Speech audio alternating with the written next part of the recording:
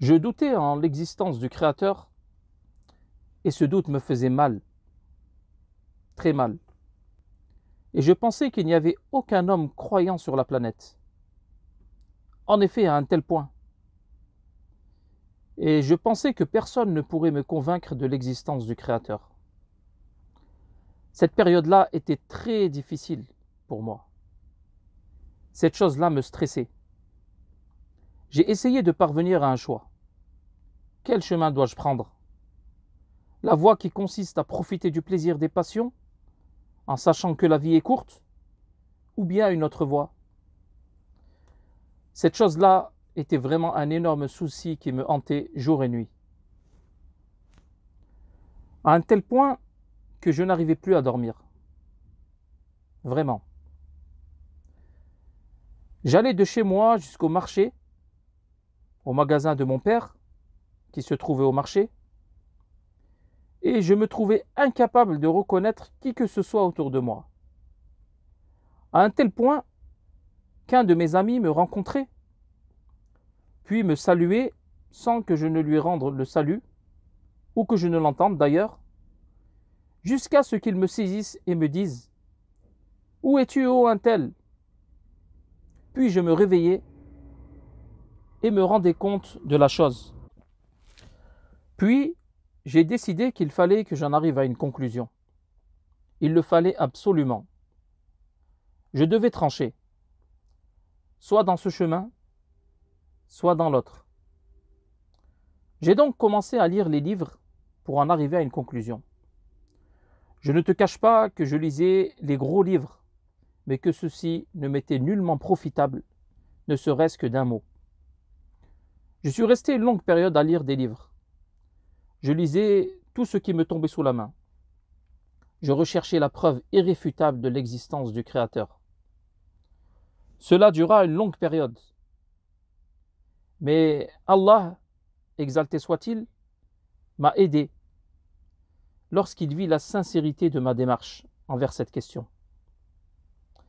Et je me souviens de la preuve qui me conduit du doute à la certitude, à la croyance en Allah.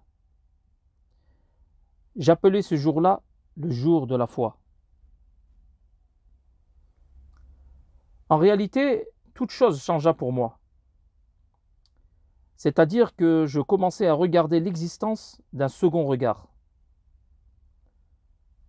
Je voyais les visages et je, je, je m'apercevais que ce n'étaient pas les visages que je voyais la veille. Je regardais les arbres d'une autre manière qu'autrefois. J'observais mon corps, ainsi que la lune, d'une autre façon qu'auparavant. J'ai commencé à apercevoir Allah dans toutes choses, alors que je ne le voyais en rien. Gloire à Allah. Et voici la première preuve qui m'a conduit à la foi. En réalité, je lisais un livre qui traitait des étrangetés qui concernent les créatures et j'ai découvert qu'il existait une sorte de moustique. Un moustique qui, lorsqu'il souhaitait se reproduire durant la période de reproduction, déposait ses œufs dans les rivières et les étangs.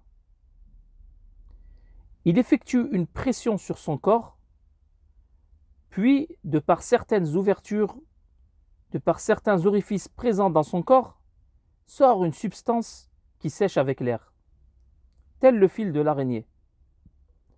Cette substance sèche, puis le moustique en fait des petites embarcations, des barques minuscules. Donc, les moustiques mères créent des petites barques dans laquelle elles déposent leurs œufs dans les rivières, puis ces mères meurent. Elles meurent, puis les larves sortent, puis se développent et grandissent. Puis les larves font la même chose pour se reproduire, et ainsi de suite. Lorsque la larve grandit pour devenir un moustique, elle exerce une pression sur son corps à la saison de la reproduction pour faire de petites embarcations, puis le moustique mère y dépose ses œufs, puis s'éteint. En effet. La question qui se pose, Qui a déposé cette substance capable de réaliser la barque dans son corps? La substance qui s'assèche. Qui lui a enseigné la construction des mini-barques?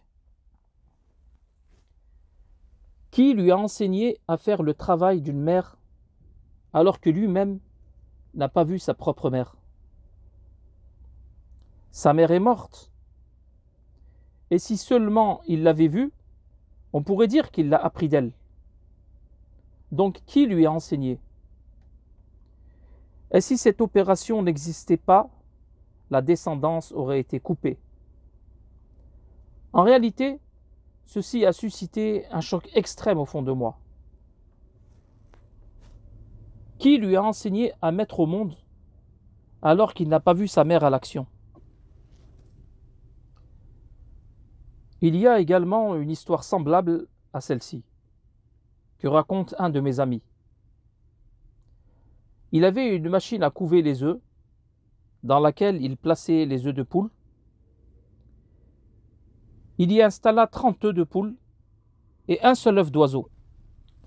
Un œuf d'oiseau d'eau, un cormoran, qu'il possédait uniquement pour compléter le nombre. Il le plaça donc avec ceux de poule il me dit donc Je connais le moment de l'éclosion des œufs. Il dit Je suis parti vérifier, je suis parti vérifier l'éclosion des œufs, et 30 poussins de poules sont sortis, puis est sorti avec cet œuf le poussin du cormoran.